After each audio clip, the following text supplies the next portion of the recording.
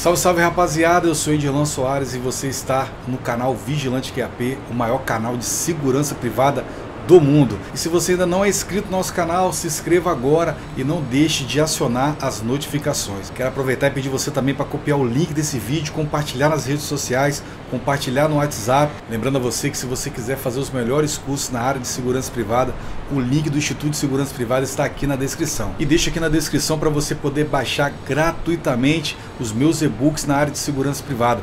20 dicas de como ser um vigilante de sucesso e o e-book Segurança Privada Direito, com aquelas leis que todo profissional de segurança privada precisa conhecer. Então não deixe de olhar toda a descrição desse vídeo que tem muita coisa boa para você ali, beleza? Então vamos pro vídeo. Arthur de Andrades. Porque hoje só consegue uma vaga quem foi indicado e não por condições. Cara, olha, eu estava conversando com um colega meu e não vou citar nomes, ele trabalha numa grande empresa de segurança, cara. Uma grande, mas grande empresa de segurança. Ele falou que os piores vigilantes deles lá eram que eram indicados. Eram os piores. E eles mudaram a política deles. E eu tive, né, conversando com ele, falei, cara, a pior coisa que faz é o cara indicar. Porque alguém está indicando se o cara não é bom. Oh, contrata esse cara aqui porque o cara tem influência. Cara, que influência é essa? Você vai, as empresas estão mudando, as empresas não querem se ferrar, sabe por quê? Eu sou empresa. Olha só, ó meu raciocínio para te ajudar a entender isso uma vez por todas. Eu sou empresa, tá?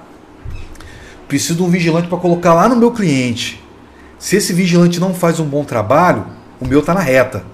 Vê um cara de fora, hein, contrata esse cara aqui, ó um delegado da vida aí, contrata esse cara aqui, você vai para ajudar o cara, coloca. O cara tá lá, trabalhando, crente que ele tem as costas quentes, porque quem colocou ele foi um delegado, começa a fazer merda uma atrás da outra, o cliente vai lá e cancela o contrato, porque você tem esse cara aí. E se você mandar embora, 40% de indenização, todos os direitos trabalhistas garantidos e muito mais você como empresa está só se ferrando. Aí quando você faz tudo direitinho, fala, não, eu vou contratar, igual eles estão fazendo, tá? Não pegam mais indicação de ninguém. Eles contratam, eles vão lá, olha currículo por currículo, pega os melhores, faz a entrevista. Tem uma equipe que faz a entrevista antes de mandar para o RH, só vai para o RH quem o operacional autorizar. Então as empresas estão vendo que é muita dor de cabeça. Olha só, o operacional, que é o supervisor, o coordenador, o gerente, eles têm, eles têm que estar livres para poder estar é, visitando o cliente, para dar um melhor serviço. Eles não podem ficar preocupados se o cara está fazendo merda no posto, não.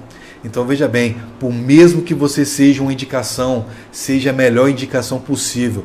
Poxa, eu estou indicando o Edirlan, tá? Poxa, mas o currículo do Edirlan é top. Então você vai lá, aí você imagine, o cara me indica. O meu currículo é só vigilante, não tem mais nada. Aí o cara que não é indicado tem vários cursos, poderia ajudar a empresa em várias coisas. O cara fala: caramba, velho, essa indicação aqui vai ficar para depois, meu irmão. Eu vou pegar esse cara, o currículo dele é melhor.